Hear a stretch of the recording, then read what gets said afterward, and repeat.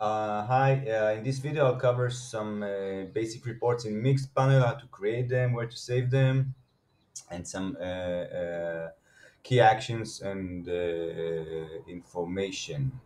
So let's get started. So let's um, at first let's look at the left side of of the board. This is the place where um, we save our uh, boards under your boards. Uh, the boards that you're uh, creating are being saved uh, automatically. Uh, if you can uh, pin a board to the project by clicking the menu here, um, and there are like pin board is a pin for project. You can also add a board for the favorite. It's here uh, basically clicking here and click here, more convenient. Uh, you have all the actions that you can uh, make on a on a board. You can delete it, rename, add to favorite, copy the URL, duplicate, move to. But the more important thing is to the manage sharing. If you click here, you can manage uh, um, uh, how to share and uh, with what permissions to share to the users in your project. You can set a certain uh, person in your project and set it as viewer or an editor, or you can set uh, uh, give access to everyone in the project as an editor or of viewer and or uh, of viewer and editor. Uh, so this is very important when you're um, creating a board and you want to uh, share it with people or you just want to give access to the people in your project or out of your project when you go and move it to a different uh, institution. Uh, and in our example, you can move it to the community board that uh, you can uh, join. Now, um, let's start uh, to look at the boards. Um, you can either start by creating a board and then adding reports to it or create a report and then save it uh, to a board. Creating a board, you can click on the new board. You can add here a blank board or you can use a template that Mixpanels offers you. It's very useful for learning how Mixpanel works, uh, uh, um, how to uh, the questions that you want to um, to raise.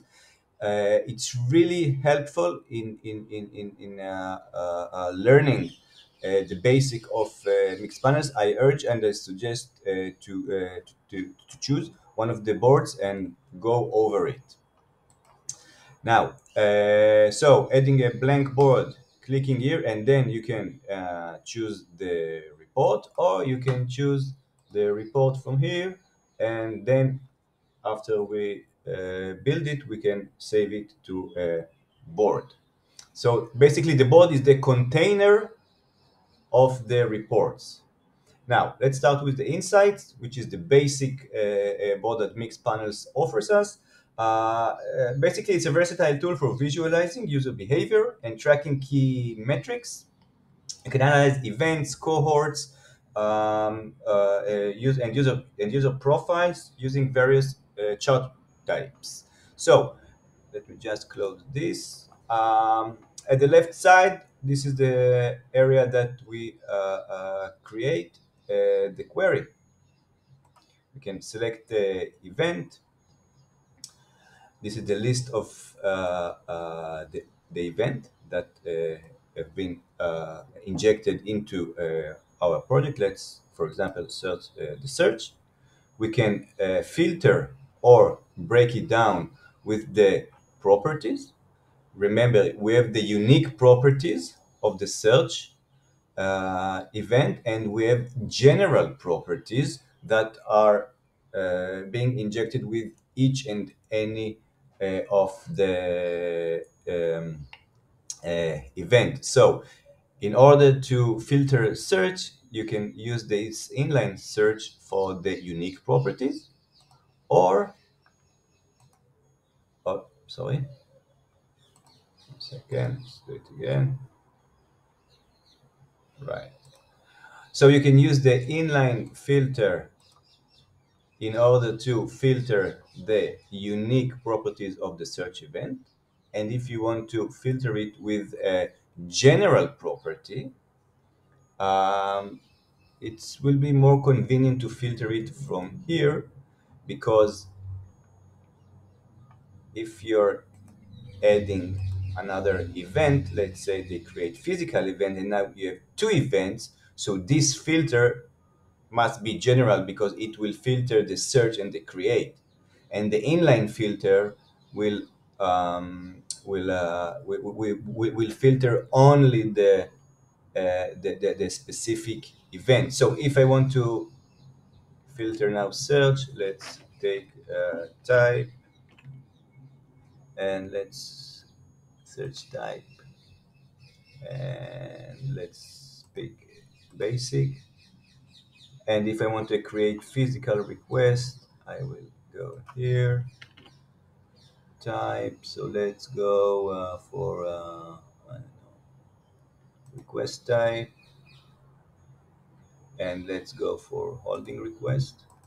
So here I filtered with the inline filter and then I will filter a global with a global uh, property. So let's take uh, operating system and I don't know Mac.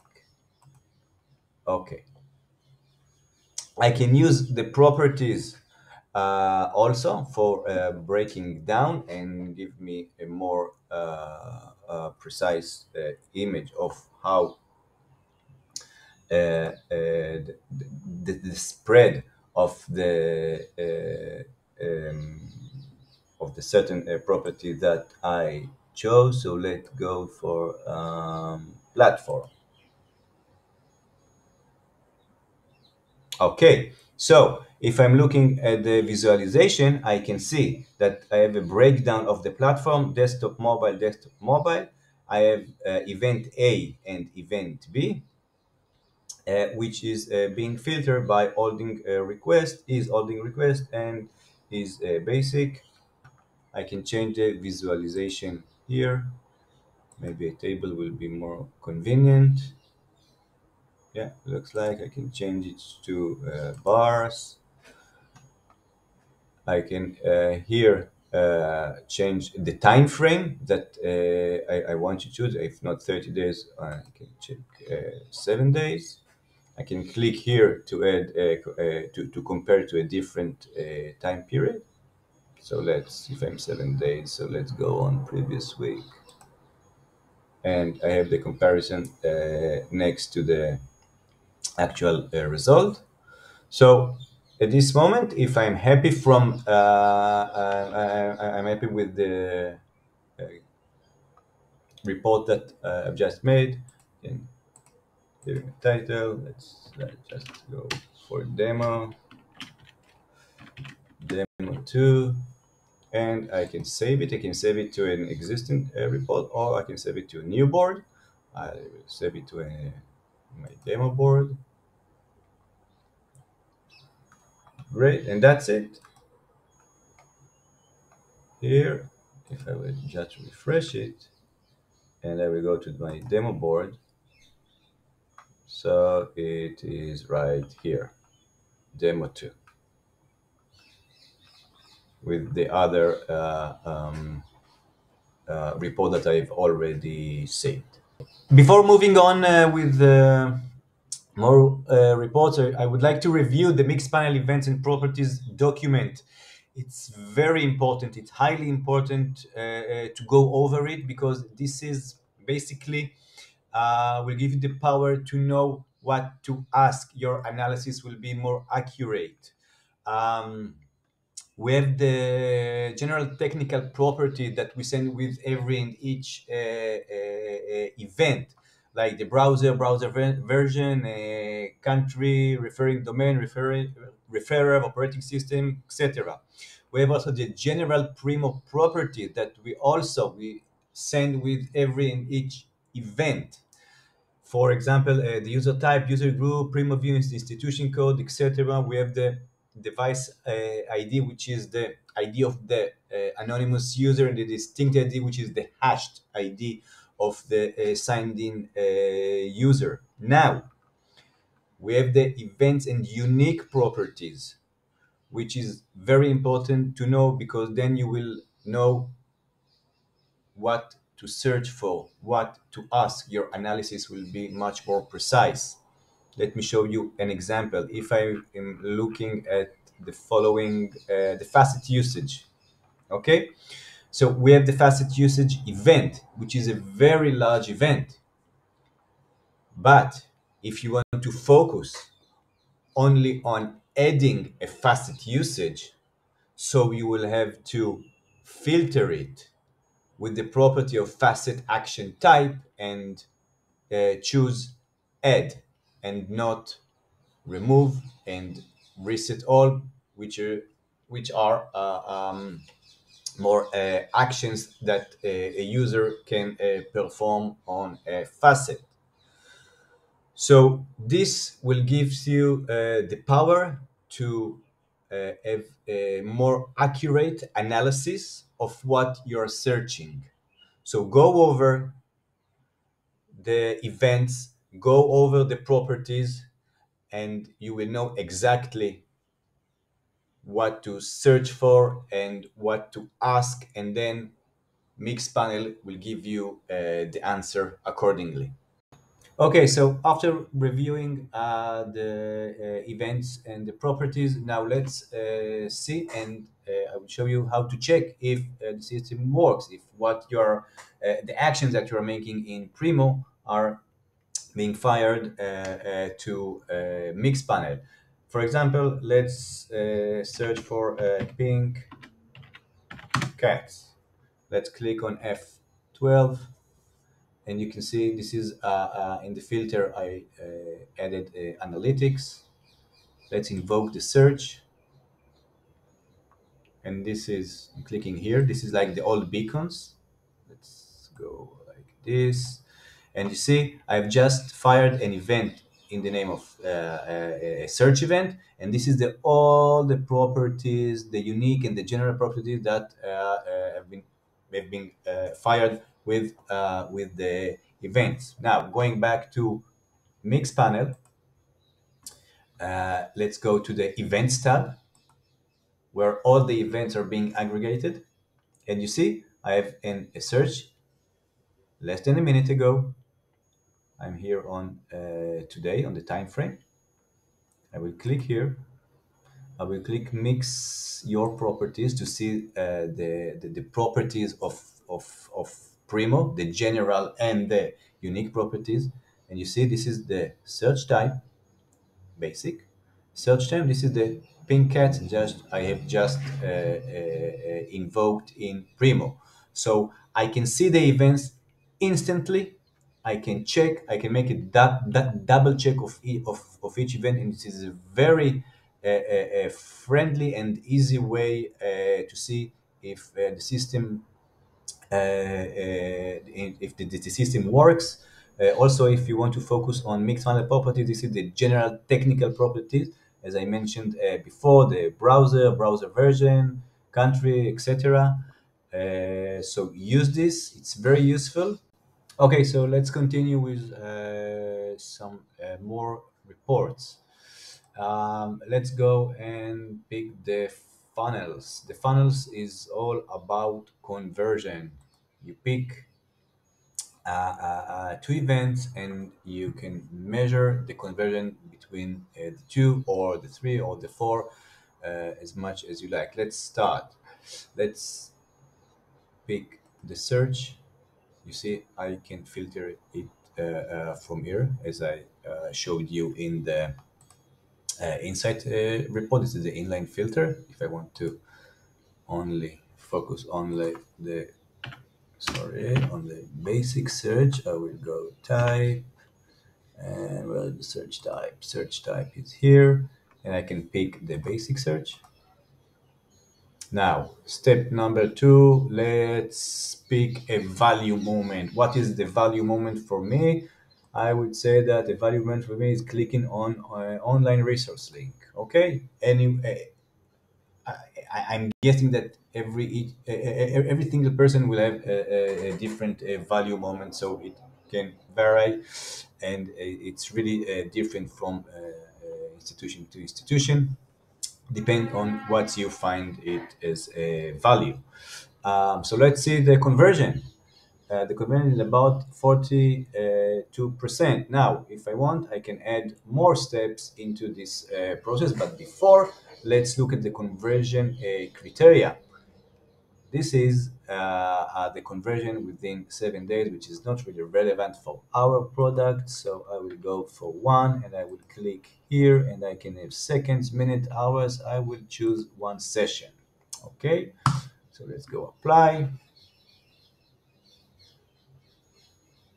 Right, so we are on, as we can see, we are on 39, let's say 40% conversion from search to online resourcing. Now, let's add, I don't know, let's add if the facet usage change anything, but I want to see if, if someone is adding a use a, a, a facet. So I will add a filter here, facet action type by selecting add add here and I will remove it for here to have a search facet usage adding facet usage and online resource link and everything drops. So but if you can see the, the, the, the, the if I'm looking at percentages the conversion is from facet usage to online resource link is about 30 uh, percent. Now if I want to ask myself why my users are not using uh, the facet as I expect them to do, I can click here, left click, I can see who the users are, and I can see it as a flow. As a flow, as I, mean, as a flow like this uh, report, like you can see it here also.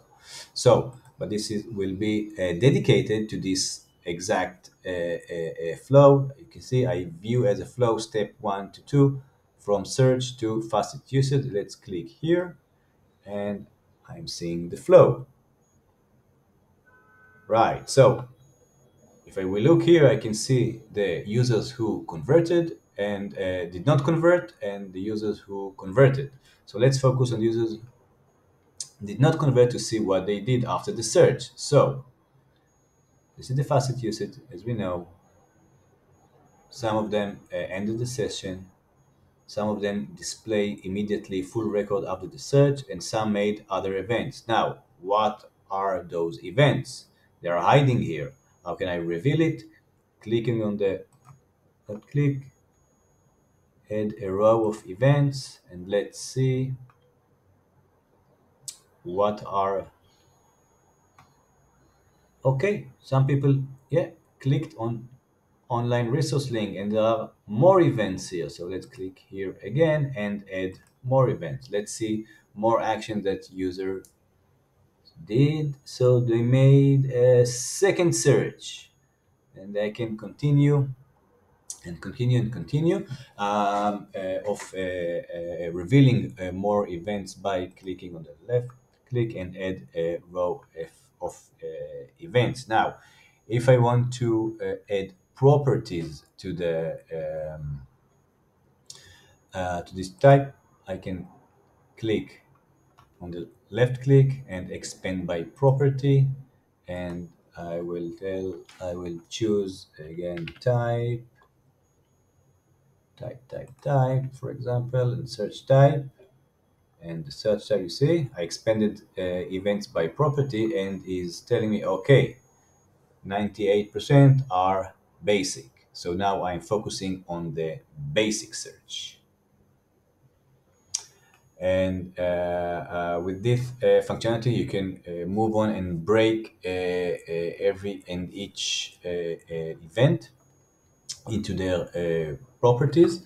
You can select if you want to add more steps to the to the to the to the first event. You see, you can you have here three steps after you can add more steps or you can stay, add steps before. Let's see, let's add one step before and see what the users did one step before. Okay, before the uh, the session uh, uh, started. So basically, the search event is mainly my my, my first action. Uh, we have like very low percentage of display for records, signing in, on address of links, etc. Also, uh, we can click the on the user flow here and we can uh, change the user flow. We are changing basically the visualization. Uh, go to top path and uh, uh, Mixpanels uh, summarized uh, the top path of the users, which is a very friendly way to see it. Very much like in the funnels report. And also you can change here and see it as a funnel. But this is very friendly way uh, to see uh, uh, this report.